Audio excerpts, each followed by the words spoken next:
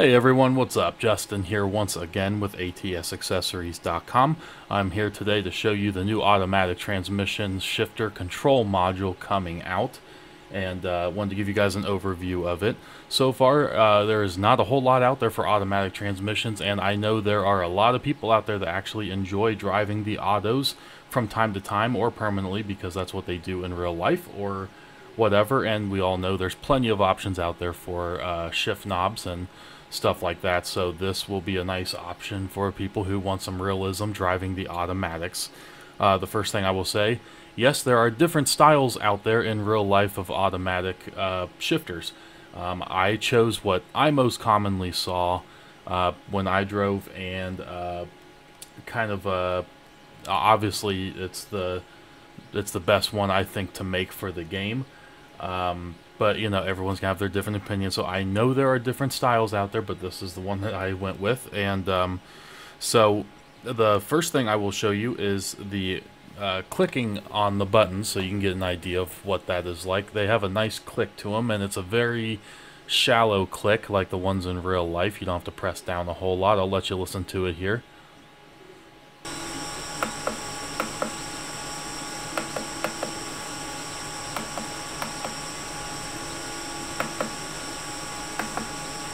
And now I will bring up uh, the shift module and I will go over the buttons with you. These buttons are uh, the they're labeled exactly as a real life shift module. Um, we'll start at the top. The top buttons are the only ones that are a little uh, weird. Um, every label on here is a button. None of them are just there for show. Um, monitor on the right is in real life uh, those buttons are used select and monitor are used for menu and uh, going over diagnostics. It'll flash diagnostic codes for the truck. Uh, ATS and ETS2 obviously do not have that function.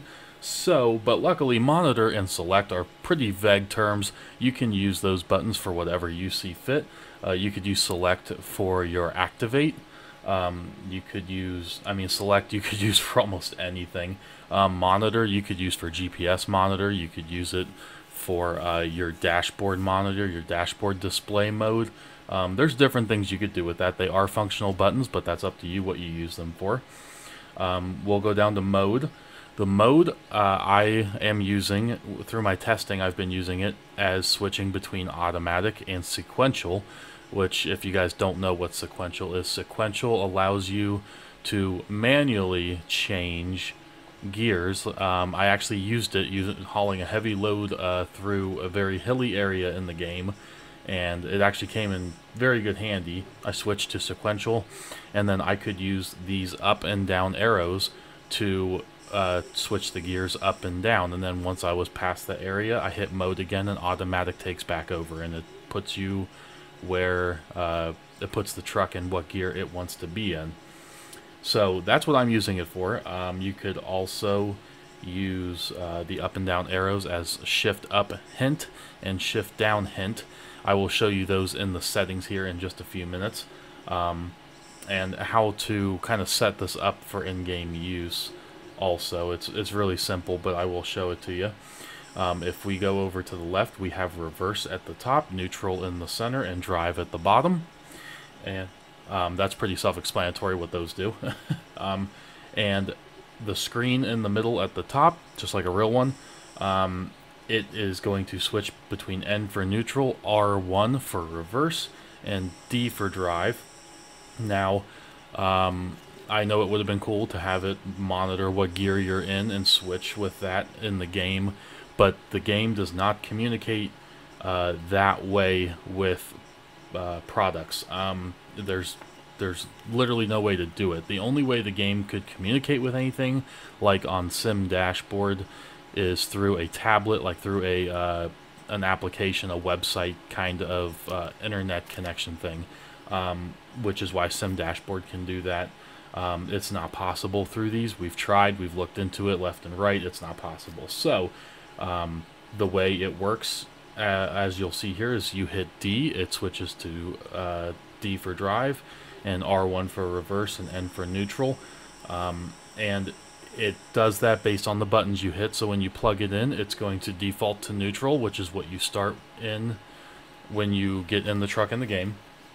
And as you drive and you switch reverse, drive, neutral, whatever, um, the screen will follow right along with what you're doing when you hit the buttons. So it's going to be the same thing basically. Um, now, the only way it's going to be uh, different is if you are out of the game or in the menu and you hit drive or reverse and then you go back into the game, it's going to be mismatched. Um, but um, if it happens, it shouldn't, but if it happens to get mismatched, all you got to do is pause the game um, and hit D for drive, N for neutral, whatever you happen to be in, and then uh, resume the game. That's it. So, um, but yeah, I'm going to show you some gameplay footage here. Um, and uh, as you can see here also, it's got two mounting holes, one on the bottom left, one on the top right. I thought the two mounting holes was all this needed. Um, I use it uh, not even mounted to the desk. I just use it sitting up there and it does just fine. But it does have that. It has a single USB right here coming out of the back. Um, and let's see, like I said, these are coming out Friday, February 25th at 8 a.m. They'll be live on the site for $99.99.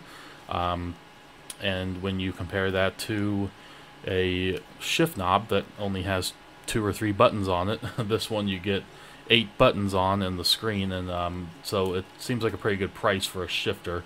Uh, just a different, just a different style of shifter. Um, but yeah, I'm going to go into the game here and show you some in-game use just so it makes more sense. Uh, forgive my screen recording. It's going to be just a camera setup behind me because I have triple monitors and trying to record on NVIDIA, uh, you know, screen recording through that is difficult because it if it does record all three screens, it's a very incorrect resolution for YouTube and uh, that's even if it records. A lot of times it will start recording and it will on its own stop recording halfway through. So, so yeah, I'm just going to do it this way. But yeah, here it is, guys.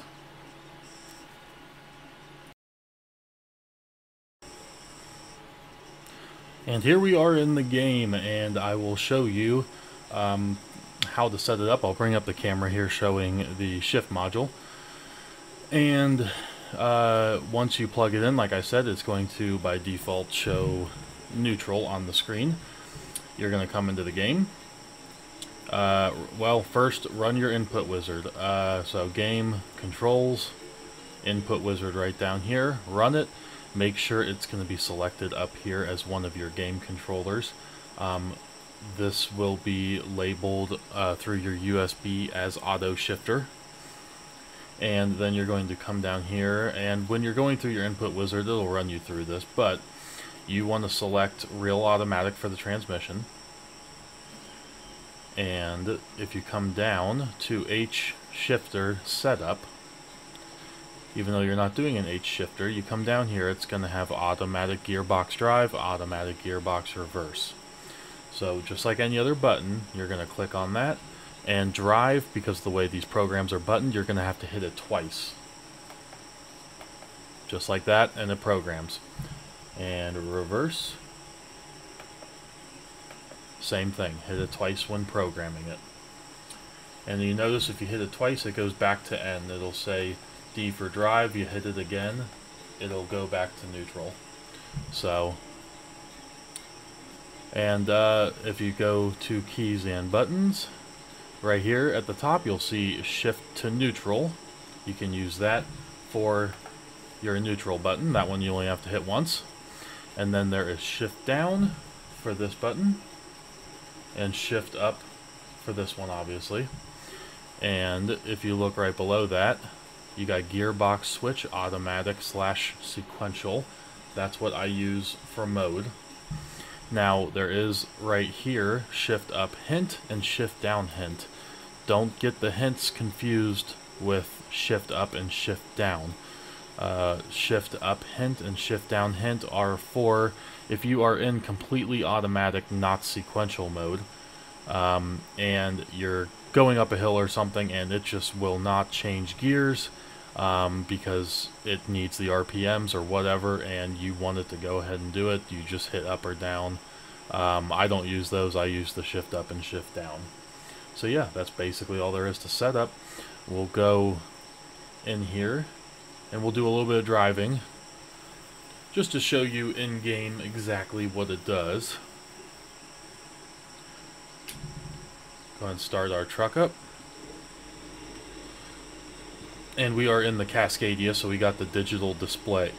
And I don't know if you can see it on the screen, but right down here, it shows N for neutral. And if I switch to reverse, you'll hear the beeping and it'll say R1, just like on the screen here. Go back to neutral. And if you go into drive, it's going to show you on the screen, on the truck screen, it's going to show you what gear you're in. On the box here, it'll only show D for drive. So go back to neutral. So, let's see, what do we got here? Okay, I'm hooked up. So I'm going to drop this trailer.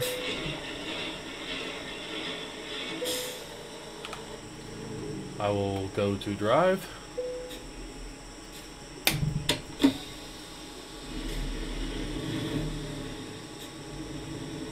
You can see that gets you into completely automatic. I'm in 7th gear right now. It, it switches itself. And then for backing up, you just hit reverse. Back up. Just so it works exactly how you think it would. But okay, we're backed up. We're going to go back into neutral. I'm going to hook my trailer back up. And I will show you uh, the switching between automatic and sequential. So we're going to go into drive. And this is plain everyday automatic right now. Let me angle this down, maybe you can see it switching between gears a little bit easier there. I don't know if you can see it or not.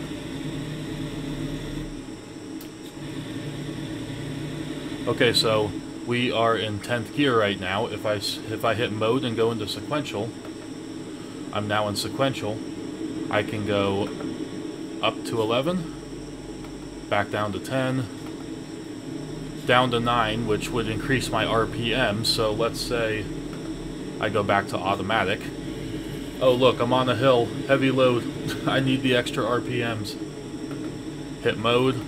Shift down. Go down a gear. Go down another gear. And your RPMs will go up. So that's when it's useful. So that's kind of a good example right there. So I want those high RPMs to stay there through this hill climb. See, in automatic mode, it would be trying to shift me up right now, and that would make me lose power. So overall, I would lose speed. And it would probably end up downshifting me back anyway. So I will get to the top of this hill, and now we can shift up and we'll hit mode now that we're back on flat ground and go right back into automatic and it just took me into 11th because that's where the gear or that's where the truck wants to be so I'll get pulled over right here so yeah that is pretty much it guys um, I hope you guys like it like I said it will be February 25th at 8 a.m. They will be live on the site. They will be inventory only.